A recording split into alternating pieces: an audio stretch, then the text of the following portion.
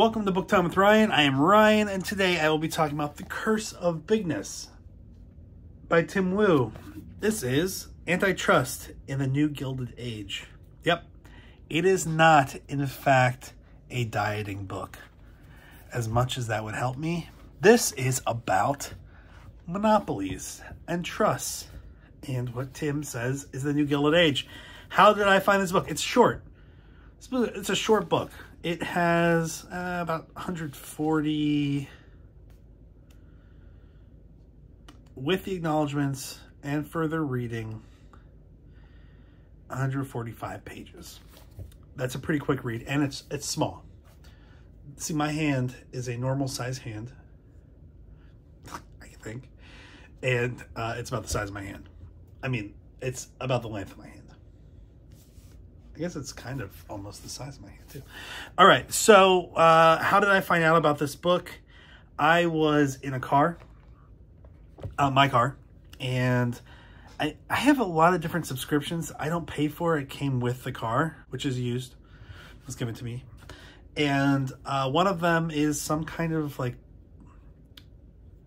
podcast radio thing.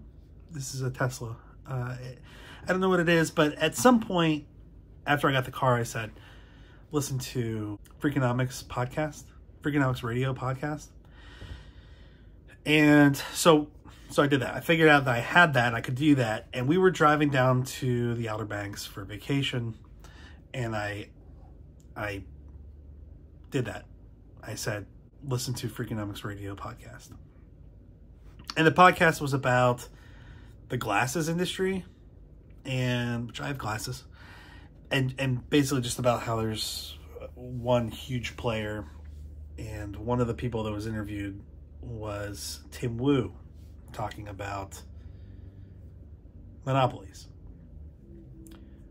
And that's on our way down. And then when I was coming back, I did it again, and it was part two of that podcast. So again, Tim Wu was on it, and I decided I'm going to get his book. The Curse of Bigness, Antitrust, and the New Gilded Age. And I enjoyed it. Tim Wu, I think, worked for the Obama administration at some point and also for the uh, Federal Trade Commission, the FTC. And he has some pretty, I think, I don't even know if I'd call him strong. Right? That's reasonable. Some pretty reasonable points of view on monopolies. This book is really, we go through early on, we go through kind of the history of trusts and the antitrust movement. Uh, of course, the big thing that happened in, I think it was 1890 or 1895, 1890, was the Sherman Antitrust Act, the Sherman Act, uh, which wasn't really used too effectively until uh, Theodore Roosevelt, the trust buster, and then Howard Taft used it even more. Uh, President Howard Taft, President Theodore Roosevelt. So I've I know about trusts, I know about monopolies, but really the the initial monopolies and trusts that they were they were tackling were some of the big ones, uh, Standard Oil, a lot of different railroad um, trusts, U.S. Steel, uh, the, the trusts with guys by the name of Rockefeller, Morgan, Vanderbilt, old school robber baron names and kind of goes through the heyday of antitrust action, the 1960s, 50s, 60s, and 70s, and then the low points, which are the 80s through kind of now. And it goes through those early trusts, but then also into modern day ones, which are more focused on, I mean, there are plenty of examples. You know, the tech ones are probably the most recent questions on consolidation. Basically, the way that antitrust has been interpreted over the years. The changes in how to use the Antitrust Act, Sherman Antitrust Act, which was modified by a number of acts, uh, has been modified by the courts um, for good and for bad, probably. And uh, that's that's where we are with it. That's kind of it's not going away. Uh, you can look at a number of companies today that really do have a monopoly or seemingly have a monopoly. They may have different names, uh, but they may all fall under the same parent company.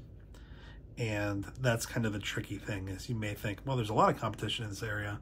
And then you find out that all those different brands are actually owned by the same company. And uh, Tim also talks about how that consolidated power in private hands affects democracy.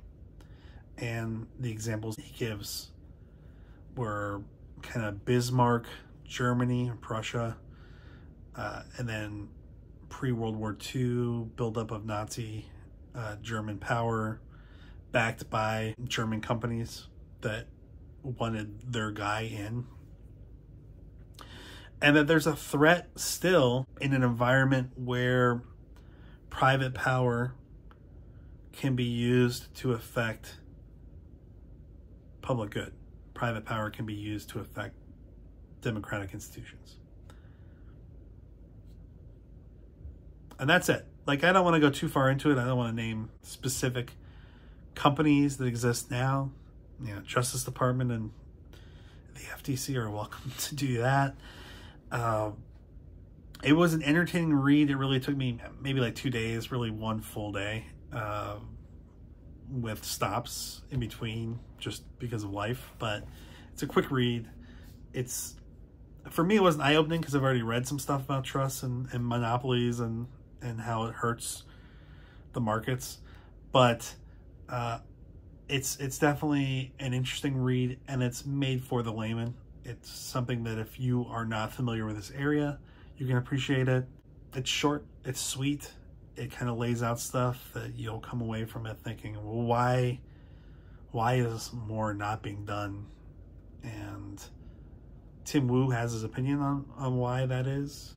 I think Tim Wu's uh, was f- on the podcast was really funny, and um, you definitely get these little asides and comments in this writing that you're like, ah, there's that funny Tim Wu from the podcast. So I found it interesting, enter- entertaining, engaging, and you know, if this is an area that you're interested in, check it out.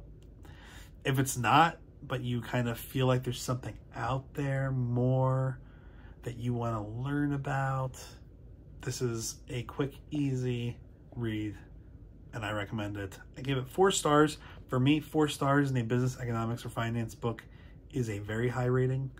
So uh, I, I really enjoyed this and appreciated it. And you might too. So thanks for being here today. I will talk to you later. Of all things an accidental